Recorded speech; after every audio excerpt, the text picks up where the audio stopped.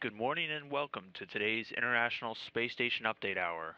You're joining us now here inside in Mission Control Houston at the Johnson Space Center, where the Orbit 2 team is currently on console monitoring the systems on board the orbiting complex. That team is being led today by Flight Director David Korth, and joining him at the Capcom position, talking with the crew up in space, is astronaut CJ Sturckow.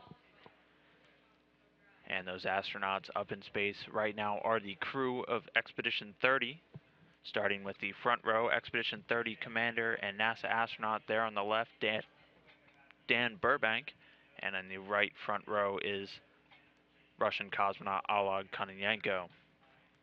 Going across the back from the left, you have Russian cosmonauts Anton Shkaplerov and Anatoly Ivanishin, and they are joined by European Space Agency astronaut Andre Kuipers, and finally NASA astronaut Don Pettit.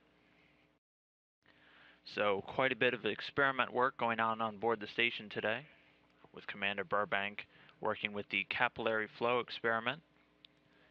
Earlier in the day, he did some alignment guide removal on the fluid and combustion facility, which houses that experiment, before moving into it.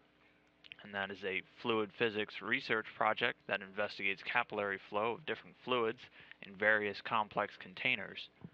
And this is all going to be used in the development of fuel systems and other fluid transfer devices on future spacecraft. Russian cosmonaut Anton Shkaplerov was doing some work on the Russian Electron system, which is one of the oxygen generating uh, devices on board the International Space Station. He was also doing some work with the Seiner experiment, doing ocean observations, which helps the Russian fish fishing industry identify the most biodiverse and productive areas. His fellow Russian cosmonaut Anatoly Ivanishin was doing some maintenance work on the Russian segment today, replacing some of the air filters in the Zarya module and some of the dust collectors, before moving on to doing some routine system maintenance on the coolant system and relocating some Russian items in the Zarya module. The third Russian cosmonaut, Oleg Kononenko, is loading some of the disposable hardware onto the Progress 46 spacecraft which will eventually be undocked and burned up in the Earth's atmosphere during reentry. And he was also working with the Russian relaxation experiment, which is a complex look at determining the effects of different in space propulsion systems and their exhaust on the Earth's upper atmosphere. And also looks at some of the effects that they have on the space station's environment and their optically sensitive, sur sensitive surfaces such as windows and equipment lenses.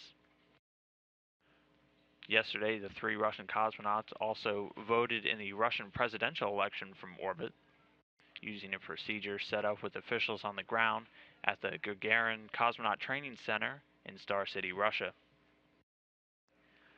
European Space Agency astronaut Andre Kuipers started his day working on the HTV hardware command panel this is a control panel up on board the station used to monitor the vehicle health status of the Japanese HTV-3 cargo ship once it's launched later this year to deliver supplies to the International Space Station. He was also working with the VO2 Max today, which is a system used to evaluate the astronauts' maximal oxygen uptake and also their general respiratory performance, both before, during, and after these long duration space station missions. And then later today, Andre Kuipers will be speaking with a Computer Expo trade fair in Hanover, Germany, where he will take some time to converse with German Chancellor Angela Merkel and Brazilian President Dilma Rousseff. That will take place later today at 12:15 p.m. Central Time, 1:15 p.m. Eastern Time here on NASA TV. Then the final Expedition 30 crew member Don Pettit spent much of his day today working with the SLICE experiment.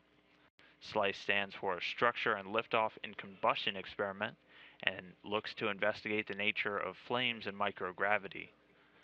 And then this hopes to have applications that could lead to improvements in technologies here on Earth, which aim to reduce pollution emissions and improve burning efficiency for a wide variety of industries that use combustion. And then he will also be doing some routine maintenance replacing the water container and offloading some wastewater with the water recovery system. The astronauts are scheduled to go to sleep at about 3:30 p.m. Central Time, wrapping up a very busy day of maintenance and experiment work.